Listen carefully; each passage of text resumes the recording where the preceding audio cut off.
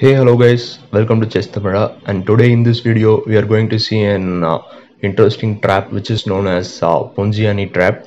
So let's start the game.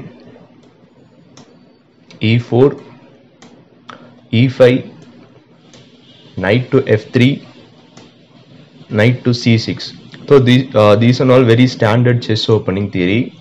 And from here we'll go for c3 knight to f6 attacking this white pawn. We'll just leave that and uh, go for d4 so definitely it's a free pawn. Black will take this. And from here we'll push this pawn further. So from here uh, black has three options. One is knight to here and the other is knight to here and the other one is knight to here. So we'll try this one first knight to a5 then b4 completely traps this black knight. So he won't go there. So this one is completely a waste of move.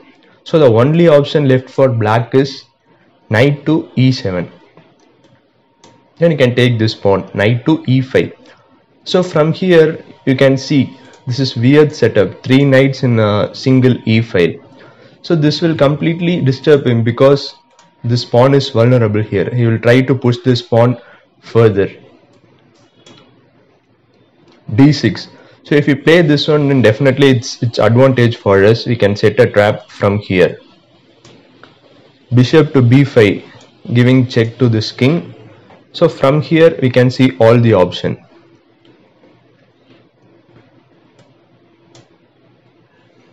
C6 and then from here you can uh, take this knight. So if we take this means then it is it's easy for us. We can take this pawn at uh, b7 so it's an open check here. And uh, king takes this light score bishop and from here we'll get a queen. So check from here and uh, knight to c8 blocking this check and uh,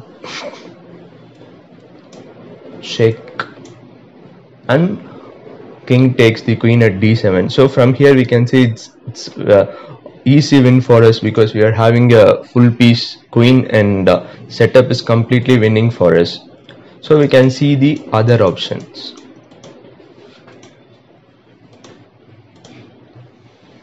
From here if we push the light score bishop means then we can take it and uh, the queen is completely lost and it's a easy win for us. So after this one what if he plays uh, here? Pawn takes uh, c6 and uh, pawn take here. Then knight to c6 and if the knight takes the white knight at c6 means in and it's completely uh, fork here pinning the king knight and uh, rook so it's from here it's it should be a easy win for us. So we will check another thing. What if he plays knight to g6 then just go for uh, bishop to G, uh, d3 so if he is not cautious means definitely he will think like every uh, like what uh, definitely we are going to lose this knight. So what if we take this pawn and uh, disturb the king's castling so then we can easily set another trap from here. That is uh, bishop takes the knight at g6 if he's greedy means definitely he can go for uh, this queen. Then we can give check. From here we can take this king till this this file king to e7 and give a check with this bishop g5 and king to d6 uh, no hurry in picking up this queen. Definitely the queen is ours. So from here uh, can give check. King to c5 and uh, can support this knight with this knight so no worries. If we take this bishop means then uh, pawn to b4 is, is completely uh, checkmate. So if we place uh, pawn to a6 then no worries. We can take this queen and see uh, from here the position is uh, much advantage for us. And also uh, we are up by a whole piece. And this knight is already trapped here so from here it should be a easy win for us. So now it's puzzle time. So solve this puzzle uh, what you have to do means uh, mate in 3 for white.